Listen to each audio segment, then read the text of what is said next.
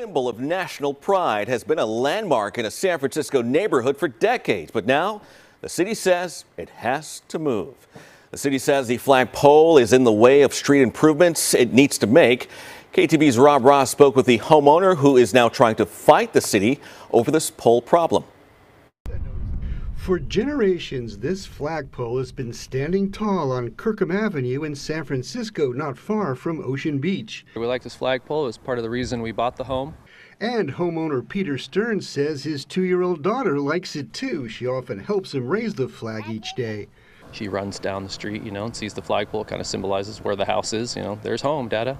Neighbors also seem on board with it. I love seeing the flag. We moved here from France, and my daughter, that's how she learned what the American flag was. But the problem is the city doesn't want the flagpole, at least not there. The Department of Public Works left this notice at the home saying it has to be removed or that he needs to apply for a permit, but the notice doesn't say why. A bit frustrated, so um, just reached out to the, the inspector here on file and tried to get a little bit more information. The homeowner says he's tried calling and emailing the Public Works Department, but so far no one has gotten back to him. I'd like to just talk to somebody and see if we can figure out a solution. So we placed a call. A spokeswoman for the department told us the city is making improvements to the sidewalks for people with disabilities, and the flagpole is in the way. And that if the homeowner wants to keep it, he can apply for a permit to move it someplace else.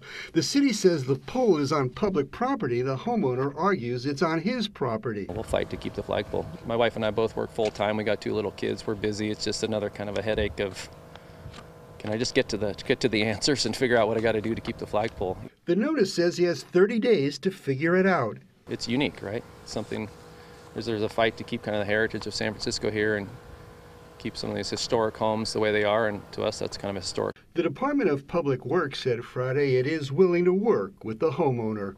In San Francisco, Rob Roth, KTVU, Fox 2 News.